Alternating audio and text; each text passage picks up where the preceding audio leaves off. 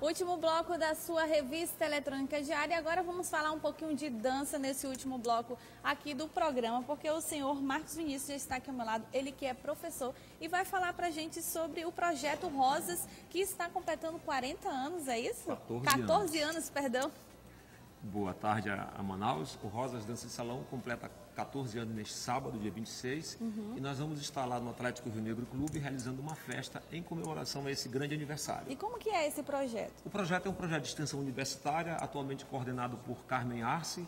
Nós desenvolvemos aulas de dança de salão dia de sábado, com bolero, salsa, zouk, bachata, machixe, uhum. enfim, samba de gafieira. É um projeto voltado à comunidade de Manaus e à comunidade universitária. Bacana. E como é que está a programação para vocês durante essas comemorações? Durante essas comemorações, lá no Atlético Rio Negro Clube, nós vamos ter apresentações de dança de salão, bachata, bachatango, vamos ter a Tati Corazon cantando uhum. ao vivo, com muito bolero para a comunidade de Manaus dançar. Quem quiser ir lá prestigiar esse grande evento, como é que faz? É só ligar para 8255-5040, meu telefone, e adquirir o ingresso. Custa apenas 40 reais. Ok. Com direito a refrigerante, doces, salgados e água. Ah, bacana.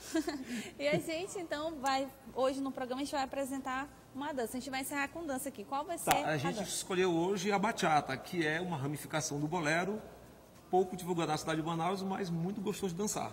Ok, então a gente vai encerrar o programa de hoje com música. Eu vou pedir aqui para a produção já ir providenciando. Amanhã nós estamos de volta a partir do meio-dia e pode ficar à vontade para fazer a apresentação.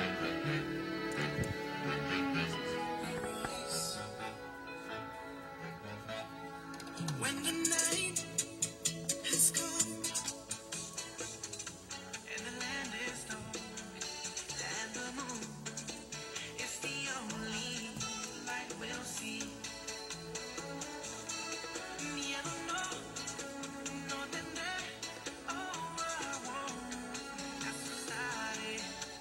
just at home.